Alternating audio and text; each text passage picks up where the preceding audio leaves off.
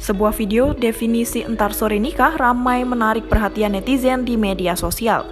Video tersebut diunggah oleh akun TikTok @duriduridam00 pada Senin 29 Maret 2021. Dalam konten tersebut, seorang calon pengantin pria berkaus hitam bermain PlayStation atau PS bersama teman-temannya. Perekam video lantas memberi pertanyaan pada pria tersebut. Kemudian Sin menunjukkan pada sore harinya pria tersebut benar melangsungkan pernikahan. Diketahui video tersebut dibuat dan diunggah oleh Adam. Adam menyebut pengantin itu adalah rekan kerjanya satu kantor bernama Fajar. Adam juga membenarkan Fajar bermain PS beberapa jam sebelum acara pernikahan.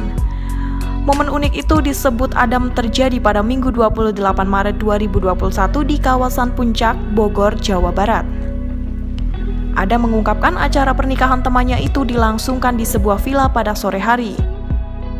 Sementara itu, villa tempat acara pernikahan berlangsung baru bisa dimasuki pada pukul 14.00 waktu Indonesia Barat.